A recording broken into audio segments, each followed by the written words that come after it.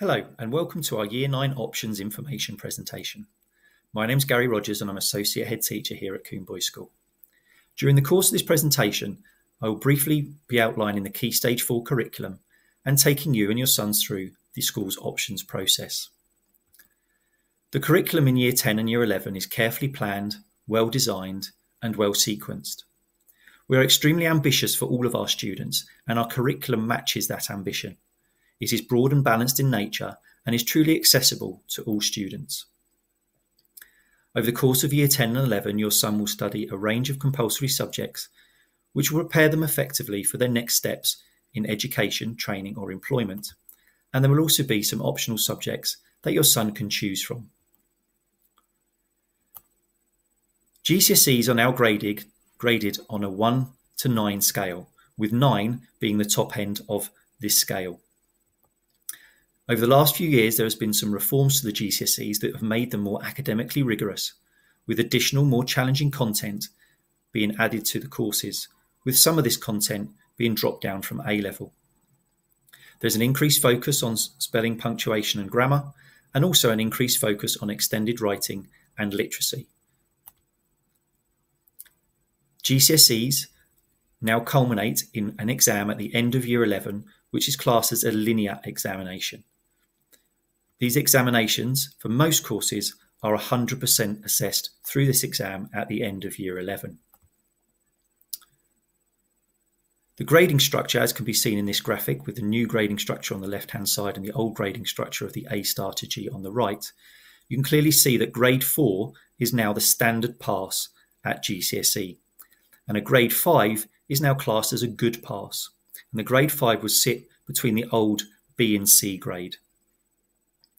In maths and English, the benchmark of a grade 4 is very important, as if this is not achieved, then students will have to continue to study these subjects and resit them again and sit exams in them again during the course of the sixth form. As I said, we are extremely ambitious for all of our students and cater for every student's needs. As a result of that, we offer a, a range of BTEC courses for students to choose as part of their options subject choices. These provide experiences and apply the learning and skills learnt within lessons to a more work based context. They are assessed mainly through assignments, which are completed in school, with an external examination at the end of year 11 that's a much smaller percentage than the 100% linear exams you have in GCSEs. And these qualifications are awarded at a pass, merit, distinction, and distinction star, which are equivalent to GCSEs. So your son will study a number of compulsory subjects, and these are English language, English literature, mathematics, the separate sciences of biology, chemistry, physics, or combined science.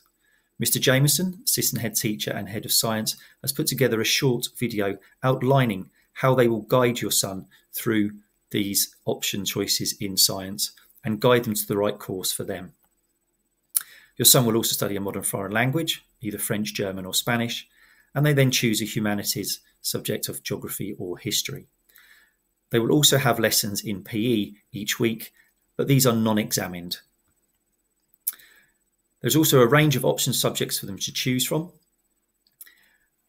And as I've said, there we have a number of BTEC courses available to students, and these are in business studies, media studies, sports studies, and digital information technology. The vast majority of students will be asked to choose two option subjects alongside some reserve. It's really important at this stage, when your son is choosing his courses for Key Stage 4, that he also looks a little bit beyond, beyond that and tries to think ahead. It's really important that he considers what he enjoys doing and what subjects he enjoys. It's also worth considering what he might want to study in the sixth form. And it's okay for them not to know at the age of 13 or 14 exactly what they do want to be or what they do want to study. So looking at what they enjoy doing is really, really important. If they do know what they want to study in the sixth form, then it's where possible, we suggest it's important that they study a subject at GCSE level if they did want to go on to take that subject at level three as an A level or a BTEC. And at Coombe, we find it very, very important to ensure that students develop strong study habits, creating independent learners, making sure they have good literacy skills, and those extended writing skills that we talked about earlier. So looking ahead slightly um, for a few moments towards the Coombe's sixth form. The results at Coombe's sixth form are excellent. Almost a third of all entries are graded A star to A, and almost 80% of all entries are graded at A star to C. The sixth form is very popular and offers a range of A level and BTEC courses at level threes. It's possible also for students to combine some A level courses with a BTEC qualification. And the minimum entry requirements for the Coombe's sixth form are five GCSEs graded at, graded at 9 to 4. So it is important to just think ahead slightly to what comes after Key Stage 4 when making your option choices. So, as we said, consider what your son enjoys doing. It really is the important part of the thinking process. Are there any sixth form plans that they're aware of? If not, discuss this with them. Have an opportunity to have that conversation and think ahead as to what they enjoy and what they may want to do as they move through the school sixth form and into university in the world of work. It's very, very important that the choices are independent choices, choices they made themselves, but also informed choices, and they're not teacher and friend driven.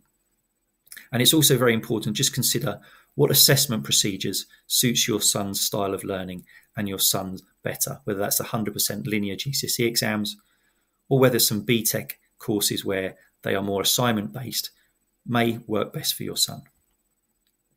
So, what might a timetable look like at Key Stage 4? This is an example that I've put together. So, the compulsory subjects of English language and English literature, maths, the science, either combined or separate, and I said before, that's guided by um, your science teachers. This person has chosen the humanities subjects of history, and they've been studying Spanish during the course of Key Stage 3, so have chosen Spanish as their language. Many of you may have heard of something called an English Baccalaureate Award, and this is a broad academic qualification that's strongly recommended at Coombe, and these subjects would qualify your son for this English Baccalaureate. Many universities consider this essential to be studying at a degree level, and it also helps provide greater opportunities for your son in further education and it keeps their options open for further study and also for further careers. And it's something that we strongly recommend here at Coombe. There are also two option choices available to your son for the vast majority of students, and this person has chosen computer science and music. Where possible, we always try to ensure that students have their first choice combination of subjects. However, where this is not possible, it is very important that we have reserve choices that your son has had a careful think about and chosen carefully. And these must be subjects that he would be willing to take at GCSE level. And these reserve option choices, this person has chosen geography and also a BTEC in sports studies. So, this is what somebody's timetable could look like when they start year 10. Alongside that, they also have the core PE lessons every week as well. The options process at Coombe is supported by a range of information and guidance for parents and students to ensure that the choices they make for their subjects at year 10 and 11 are informed choices.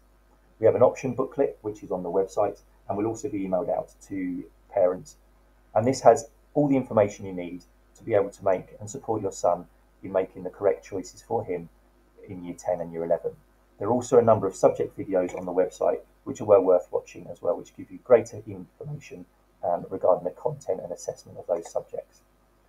Next week, during the 17th to the 21st of January, we have our Year 9 Careers Education Information and Guidance Week. This is where each subject will talk through the uh, subject in Year 10 and Year 11, uh, and whether it's a GCSE or a vocational BTEC. Um, they will discuss the content of the curriculum in Year 10 and 11 and also the assessment that goes alongside uh, within that, and whether it's exam based assignment based, etc. There's also assemblies for year nine next week where new subjects such as media studies and business studies will do a short presentation um, to all the boys to let them know what the content and assessment procedures for those subjects are.